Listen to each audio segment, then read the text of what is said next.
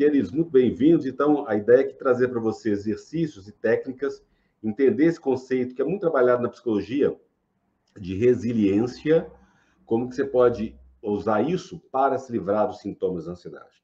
O que é a resiliência emocional e como construí-la para você se livrar da ansiedade. E a capa que eu coloquei aí foi da Elza Soares, muito triste aí. Descansou, né, a morte da Elza Soares, esse ícone de resistência e de resiliência.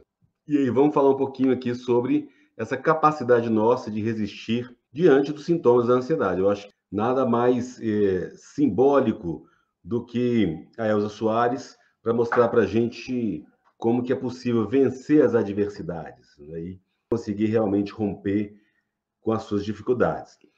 Se vocês é, não sabem ou estão acompanhando aí na mídia, nos jornais, vários jornais estão falando um pouco da história da Elsa. E pelas informações mais sintéticas que a gente tem, ela nasceu numa favela, né? o pai era músico e ela trabalhava carregando lata d'água na cabeça, é, como é, empregada doméstica, lavando roupa para fora.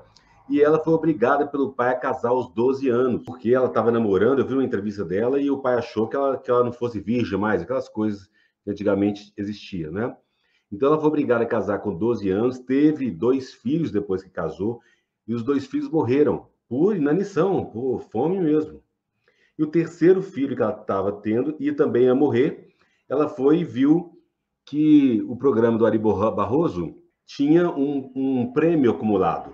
Quem ganhasse receberia aquele prêmio, a cantora que ganhasse. Ela foi, claro que essa história é bastante conhecida, só estou fazendo um resumo aqui é, desse início da carreira dela, e ela disse que tava, era muito magra, pegou um vestido da mãe, a mãe pesava 60 quilos, ela pesava 35, e o vestido todo enorme nela, ela colocou alfinetes no vestido, e chegou lá, quando entrou no palco, as pessoas começaram a rir dela né, no palco, rindo dela.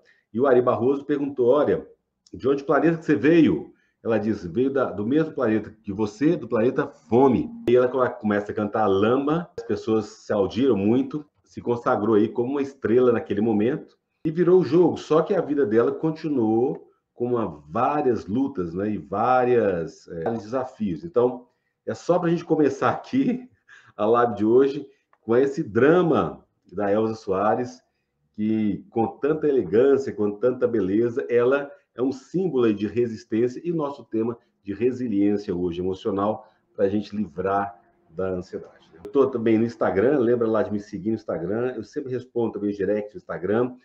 Tem também o meu e-mail que você pode entrar em contato comigo, está aqui aí passando aí na tela. Pode mandar psicólogo Paulo Almeida, arroba gmail.com, está embaixo. Né? Elza Soares é um exemplo aí de resiliência. E ela começou a cantar Lama, que é uma música, um clássico, nossa música popular brasileira. E ela fala, a música fala assim: se eu quiser fumar, eu fumo, se eu quiser beber, eu bebo, não interessa a ninguém. Se o meu passado foi lama, hoje quem me difama viveu na lama também, comendo da minha comida, bebendo a mesma bebida, respirando o mesmo ar. E hoje, por ciúme ou por despeito, achaste por direito de querer me humilhar. Quem és tu? Quem foste tu, não és nada. Se na vida foi errada, tu foste errado também. Não compreendeste o sacrifício, sorriste do meu suplício, me trocando por alguém. Se eu errei, se eu pequei, pouco importa. Se essas horas estou morta, para mim morrestes também. E aí vai, né? Então é uma música que é uma, é uma lamentação, né, gente? Que fala desse abandono, dessa rejeição aí no relacionamento essa relação amorosa, às vezes aflitiva, ela traz ansiedade para a gente, né? E essa música, essa música, ela ganhou lá no programa do Ari Barroso e conseguiu é, alimentar o filho que estava morrendo também. E a partir disso, ela vira uma estrela nacional e internacional, né, gente? A Elza Soares foi é, condecorada pela BBC de Londres como a voz do milênio, a voz cantora brasileira, a voz do milênio. Desde os 12 anos, foi obrigada a casar e aí acabou perdendo filhos e depois, ao decor da vida, ela se apaixonou pelo Garrincha e foi um romance muito é, atribulado. Ela fala o seguinte, que eles estavam refugiados porque na ditadura a casa dela foi toda metralhada né, eles foram para a Itália. E quando estavam na Itália, ele bebia demais o garrincha e batia nela. Né? Então, ela passou por essa humilhação de apanhar do marido. Né? E, e, é muito duro isso. Só que ela fala que realmente o amor foi maior. Né? E aí ela morreu no dia que ele morreu também. Né? Então, ela morreu ontem, 20 de janeiro de 2021. O Garrincha morreu há 39 anos atrás, quase 40 anos atrás, ele morreu, ela morreu no mesmo dia dele. Então, mas por que, que eu trouxe a Elsa como exemplo de resiliência? Por causa disso tudo. Ela conseguiu passar por essas tragédias da vida. O filho que ela teve do Garrincha, com 9 anos, ele morreu no acidente de carro é, na Via Dutra. E também o Garrincha estava dirigindo alcoolizado com a mãe dela no carro e ele bateu no carro, a mãe dela foi jogada do carro e a mãe morreu também nesse acidente de carro porque o Garrincha estava dirigindo alcoolizado. Então, é muita tragédia na vida da Elsa, né? Mas mesmo assim, ela continuou resistindo, resiliente ao longo da vida e morreu com 91 anos cantando e sendo aí homenageada no mundo todo e no Brasil, inclusive, tendo aí toda a classe artística, os cantores todos, os atores, atrizes, é, dançarinos, bailarinos, artistas e toda a população, nós todos, né, admirando e respeitando a trajetória dela. E ela, inclusive, antes de dois dias antes de morrer, gravou um DVD, um CD. Vão lançar o empresário dela vai lançar agora em março um novo DVD que ela gravou antes de morrer. Então, exemplo muito capaz, né, de resiliência. Porque o que, que é a resiliência emocional, gente? Essa palavra difícil aí. A resiliência emocional é quando você é capaz de acalmar a sua mente frenética depois de você se deparar com uma experiência negativa. Então, a Elsa, apesar de ela ter perdido, do, casar, foi obrigada a casar com 12 anos, perdeu filhos, dois filhos quando ela estava lá nessa fase do primeiro casamento dela. É, foi, perdeu o filho com Garrincha com 9 anos, perdeu a mãe em acidente de carro, ela apanhava do marido Garrincha, né? foi expulsa do Brasil, a casa metralhada na ditadura. Isso só para falar do início da vida dela. Né? E, e é isso, assim, é uma, a resiliência emocional é uma motivação intrínseca, uma força interior pela qual nós podemos nos agarrar através é, dos momentos negativos que nós passamos na vida e superá-los. Então, é um exemplo aí de resiliência emocional, Elza Soares, e que a gente passa com ansiedade e que a gente pode vencer. Né? Assim, dificilmente você vai ter alguém com uma história tão trágica como a da Elza. Né? E, ao mesmo tempo, dificilmente uma história tão trágica de um ser humano com tanta superação. Né? E ela, você sabe, no final da vida, nos últimos 20, provavelmente mais de 20 anos, ela ficou é, sem poder andar por um problema na coluna, ela cantava sentada. Essa resiliência emocional, ela pode ser é, trabalhada, porque quanto mais eu entender que a ansiedade, sintomas da ansiedade, são é, momentos para eu me superar, não é? Eu posso usar a minha resiliência, aprender a ser resiliente, entendendo que a resiliência ela é um músculo, né? E que ela pode ser é, um músculo assim, metaforicamente, né? Ela, você pode flexibilizar o suficiente para poder você fazer menos esforço para superar os golpes emocionais de cada vez. Então, ela não tem a ver a resiliência emocional não tem a ver com ganhar a batalha. É a força para você poder atravessar a tempestade, né? e ainda você manter aí a vela acesa, a chama acesa, vivendo aí, degustar da vida, apesar das nossas perdas, apesar das nossas dores. Né? A palavra resiliência vem do latim resilio, que significa ressuscitar, né? renascer de novo. Né?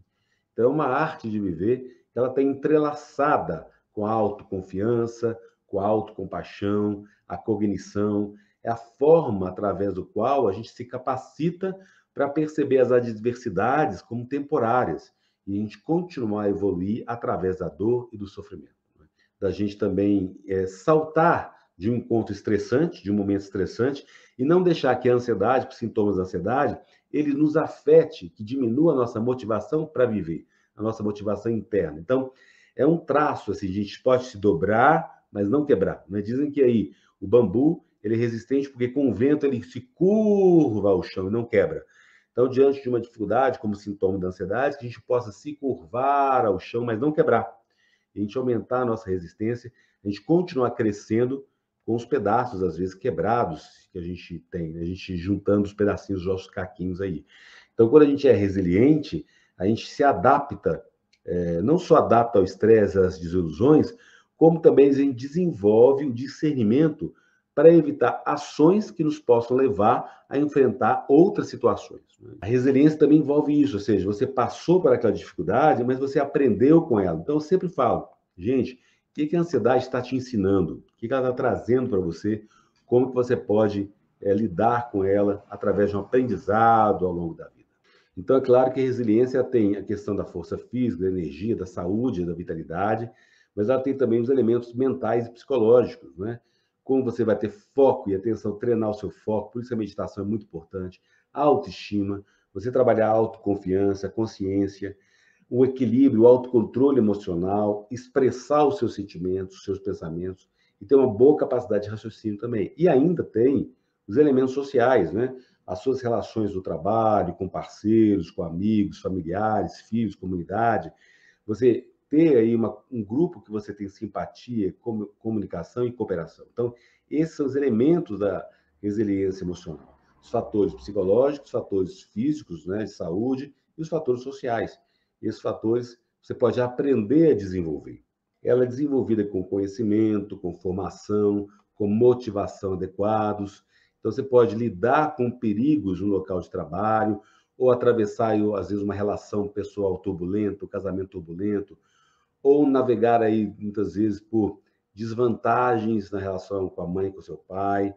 Então, é, você vai, com a resiliência emocional, você vai lidar melhor com a situação, de uma forma mais eficaz, uma forma que você vai se sentir mais seguro, apesar da devastação emocional. Né? Então, é muito importante ter essa construção da resiliência e lidar com essa com as tragédias da vida, porque existem, né, gente?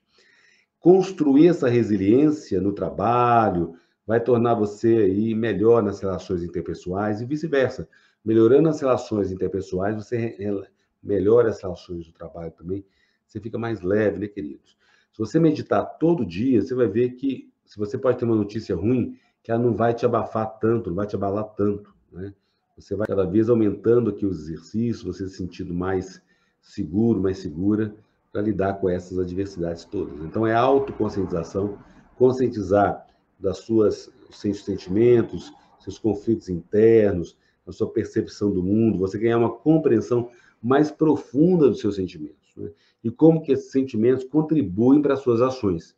Então, muitas vezes, ao invés de você ficar culpando os outros, você ter essa inteligência emocional, essa coragem de buscar as respostas dentro de você, né? para você entender o que está causando a ansiedade. Depois você desenvolver a persistência. Então, para você aumentar a sua resiliência, é você ter compromisso e consistência de continuar. Né? Você lidar com fatores de tensão externos, lidar com conflitos internos, você manter viva essa motivação interior. É o, o exemplo que a gente está dando aqui da Elza Soares. Porque apesar dela ter perdido três filhos que morreram no acidente de fome, né? dois filhos morreram de fome, o outro morreu de acidente, a mãe que morreu de acidente, que causado pelo marido que estava alcoolizado, ela ter ficado paraplégica. Ela tinha uma motivação interior de continuar cantando. Né? Então, a música para ela, a arte, o ofício dela, ajudou ela a vencer todas essas adversidades. Né? E muitas outras tragédias que ela passou na vida aqui. Né? Então, porque os fatores externos, como a pandemia aí, vão acontecer. Mas essa perseveração, essa perseveração, você perseverar, para manter a motivação interior é muito importante. Ter esse controle emocional, quer dizer, quanto mais a gente tem nível elevado de controle, de autocontrole, a gente pode direcionar os nossos sentimentos para o foco. Às vezes você está com raiva de alguém, você controla, fala assim, opa, eu não posso quebrar a casa da pessoa nessa hora, né? Eu tenho que me controlar. E tem também um pensamento mais flexível, né? Ou seja, o que, que é isso? Se você fica muito focado, por exemplo, você pensa assim, ai meu Deus, é, essa pandemia não vai acabar nunca, é, a gente tem que. É, vai ser uma tragédia. Tudo bem, gente. A Ômicron é, uma, é um novo evento, não é? Que merece a nossa preocupação. Vamos ser realistas também. Não vamos criar uma ilusão de ah, isso vai acabar rápido. A gente não sabe, a ciência está muito nova ainda sobre esse tema. Então vamos flexibilizar o nosso pensamento. O que, que é pode mudar? O que pode melhorar? Será que é isso mesmo? Vai ficar até o fim? Por que, que a gente vai ter esse pensamento mais rígido? Porque o pensamento rígido, ele ele dificulta a nossa habilidade social, nessa flexibilidade mental, a gente vai ter mais otimismo, mais ajustabilidade, a gente vai raciocinar mais positivo, né? A gente vai ter uma experiência aí mais equilibrada da vida. É isso que a gente pode desenvolver com a resiliência emocional. E a gente vai ter relacionamentos interpessoais também com mais é, saúde, né, queridos? Então, assim, à medida que a gente tem laços interpessoais saudáveis, nível pessoal, profissional, a gente constrói relações mais é, vívidas e alarga a nossa visão, como a gente vê o mundo e as nós próprios. Né? Então, a gente se está é, é, cercado por criaturas agradáveis, pessoas legais, força a gente a superar problemas, a suportar os problemas, a evoluir a partir deles. Então, é isso que precisa trabalhar com a resiliência. Como que eu vou suportar os sintomas da ansiedade? Como eu vou superar os sintomas da ansiedade? Como que eu vou evoluir com os sintomas, apesar dos sintomas da ansiedade? Então, para construir essa resiliência emocional, a gente tem que aí ter esse contexto mais amplo, essa capacidade nossa de realmente uh, construir novas relações. Né? Então, primeiro eu vou pensar de uma forma mais saudável. Não vou pensar que qualquer coisa, qualquer doença que eu tenho, eu estou morrendo. Qualquer sintoma da ansiedade, eu estou morrendo. Não, vamos pensar de uma forma construtiva que é um sintoma leve da ansiedade, ou se ele é grave, se ele é, é difícil, desconfortante, ele não é grave. Vamos perceber as coisas com mais clareza, buscar entender que todos nós nos equivocamos, né? o ser humano se equivoca, com ansiedade ainda mais ficamos equivocados, vamos agir de uma forma é, com sabedoria, né? É, ajudando aí uns aos outros e tendo mais tranquilidade, mais calma, né? Tá aberta a mudanças, flexível, né? Aceitar a verdade, a gente botar, é, abraçar a gente, né? Acho que isso é muito começar por isso, um alto carinho, uma auto compaixão, uma empatia consigo mesmo para você se tratar bem. Você se tratando bem, você trata o outro bem também, né, gente? Possibilidade de ter a Elza, uma cantora brasileira, né, gente? O Brasil, ele é muito rico. Eu vou deixar a imagem dela aí para vocês. Chora, desabafa seu peito, chora, você tem o direito. Se tratando de amor, qualquer um pode chorar. Não se envergonhe do pranto que é privilégio de quem sabe amar. Não se envergonhe do pranto, que é privilégio de quem sabe amar. Quem não teve amor nunca sofreu e desconhece o que é agonia. Abra o peito e deixe o pranto livre como eu. Ah, desafogue a melancolia. Não teve amor nunca sofreu, então a ansiedade está com todo mundo e desconhece o que é agonia. Abra o peito e deixe o pranto livre como eu. Ah, desafogue a melancolia. Beijo, tchau, tchau.